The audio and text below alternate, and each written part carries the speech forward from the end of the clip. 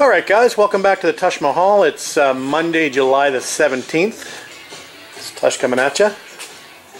And we're at T-minus 62 on the calendar.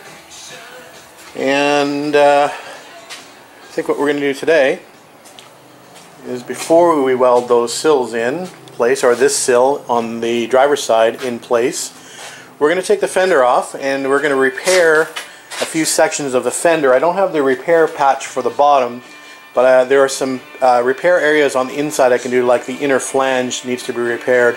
And I can definitely do a little bit of body work and pound some of these dents out. I've got a large dent here and a very large dent here that I can try to work out a little bit.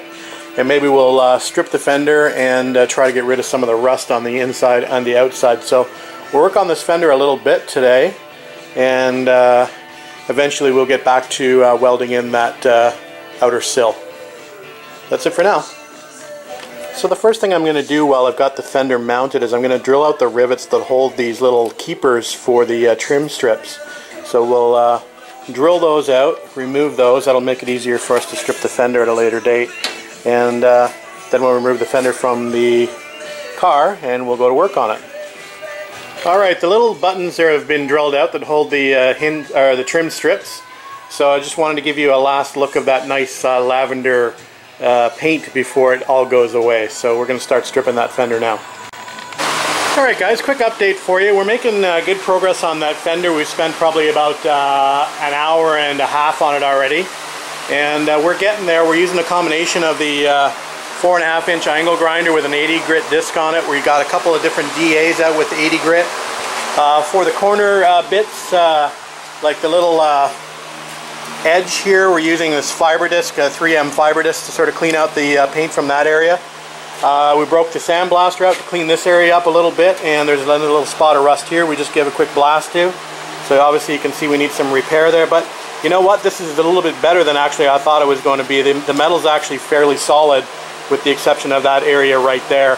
So obviously big dent here, uh, big dent here, some dents here, dents here, uh, a dent here, dent down there. So lots of dents in it, but uh, so far not too bad compared to some of the fenders I've uh, seen and had the pleasure of working on. So anyway, uh, we're going to take a bit of a break and uh, we'll get back out here. We're going to let the co compressor cool down a little bit. It's been going uh, non-stop for the last hour and a half, so we'll give that a little break to, uh, to cool down so I don't kill it. All right, guys, we'll come, we'll come back in a bit. Alright guys, quick update for you. We've got uh, most of the fender done. We have a little bit on the nose that we have left to done, but it's probably easier for me to get to that uh, when it's on a stand. So we're just about to uh, unbolt it from the uh, body tub and uh, move it over to a stand and uh, continue working on the rest of the outside and then we'll start working on the inside and trying to have a look at that flange and maybe try to clean up some rust on the inside as well before we go ahead and uh, knock some, uh, or at least try and knock some dents out and repair a few rust holes like this area here. So that's the plan anyway, so we'll get the fender off the car. Alright guys, here's a quick look at the uh, inside of the fender and the flange piece that we were talking about that needs some rust repair. Obviously needs some repair down here, and it needs some repair in the center. Needs a little repair up the top as well. We've got quite a bit of surface rust up the top here, which is a uh, normal area for these to rust. Again, this car wasn't run with the uh, baffle plates in here, so it ended up collecting a lot of dirt and debris back in here. Those plates normally fit here. You can just see the outline of them. And they were supposed to have been a seal here to stop all the stuff coming in from the, uh, the front uh, road wheels, but that wasn't the case with this car. So we've got quite a bit of rust in here, so we're going to see how we can clean this up. We're also going to try to clean the flange up a, a little bit. Doesn't look too bad, but we'll see what it looks like after we get it ground down. The rest of the fender doesn't look too bad, even the front part. So uh, anyway, we'll uh, get to starting to get the grinder out and see what we can clean up to start with, and then we'll start uh, doing these repair sections. I'm trying to mix up the uh, grinding and sanding work with a little bit of uh, hammer and dolly work. So the first dent we're going to try to get out is this big one at the front, and I've got good access to it, so it shouldn't be too much of an issue to get that looking better. So we've got the hammer and dolly set out, and uh, we're going to go to town on that one first and see if we can make that look better. So there's the before and uh, we'll see what it looks like after. Alright guys, I managed to hammer out that first uh, big dent in the nose of the fender. I think it looks not too bad. Probably a little bit more uh, hammer work, but uh, thin coat of filler and I think we should be good to go. So that looks uh, much better than it did. hopefully you can see that on camera. So yeah, I'm happy with that. So uh, maybe we'll continue on to do uh, another dent, maybe like this one here, or this one here, or this one here, or this one here, or this one over here, or this one here. No shortage of dents to look at. Anyway, we'll come back. I find it's a good idea when you're cleaning up your panel, if you can help it, not to uh, remove the paint from inside the dent because it acts as sort of a guide coat so you can feel whether you're high or low. You can see obviously I've got a couple of high spots here where it's going shiny but the remaining areas are still low so I'm going to continue hammering dolling this dent out until I can just take a block, uh, sanding block and sand crisscross patterns over it until uh, all that uh, old paint uniformly disappears. So that's what I'm doing. So we're making progress on that dent. You can see there's still some low spots here after sanding with a block. So uh, we're going to continue to uh, hammer and dolly that just a little bit and bring that area up and then we'll sand it again.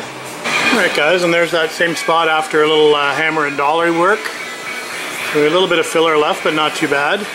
We do have a pretty significant dent here to contend with, it's just beside it, so probably work on knocking that out next. It's distorting this a little bit, but uh, anyway, I think it looks okay. So we'll move on to the next spot, right there.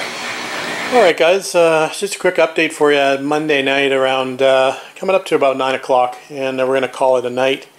Uh, got a few more small dents out. We still have some um, more of the major ones to get out, but uh, it's definitely looking better. It's going in the right direction. So uh, we're going to stop here for the night um, and then we'll get back out here hopefully tomorrow night and we'll make a bit more progress on this fender. Like I said, we're going to switch gears and go back to uh, welding that sill in. I'm sort of uh, stalling for time for a little bit because I've got uh, uh, new tips coming from my um, spot welder and I'm going to be using the spot welder quite a bit. So I should have some new uh, tips coming. Actually, you can see one of the tips on the floor there. It's actually just come out of the uh, out of the arm. Um, so I've got new tips coming for the spot welder that will make a little cleaner spot weld than those. Those are fairly old now and the tips have uh, mushroomed a little bit. So the uh, spot weld themselves are a little bit bigger than what they need to be. So the new tips should make it easier for me uh, once they uh, come in the mail. So that's why I'm sort of holding off doing the sills for a few days and just working on panels. it's not like these don't have to be done at some point anyway, so it's not like I'm wasting time. So anyway, it's just uh, a different uh, division of uh, labor, I guess. We'll uh, switch back to the sills once I get those tips in. That's it for tonight, guys. We'll uh, probably just uh, bring the camera inside, get it charged up to be out here tomorrow. All right, guys. Talk to you later.